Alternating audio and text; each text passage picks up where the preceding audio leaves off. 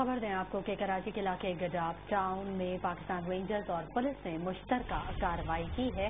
कलबन तंजीम Daesh के दो इंतहाई मतलूब दहशतगर्द गिरफ़्तार कर लिए गए हैं, जबकि दस्ती बम और एमुनिशन भी बरामद कर लिया गया है। तर्जुमान के मुताबिक मुलिम फरमान उर्फ़ एहतशाम के पी के बाजोड़ और कराची के अंदर दहशतगर्दी की मुतद कार्रवाई में मतलूब था।